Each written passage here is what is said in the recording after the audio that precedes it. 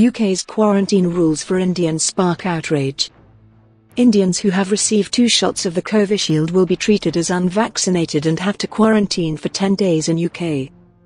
Even though the vaccine is the same as the AstraZeneca vaccine developed by Oxford University but manufactured in India.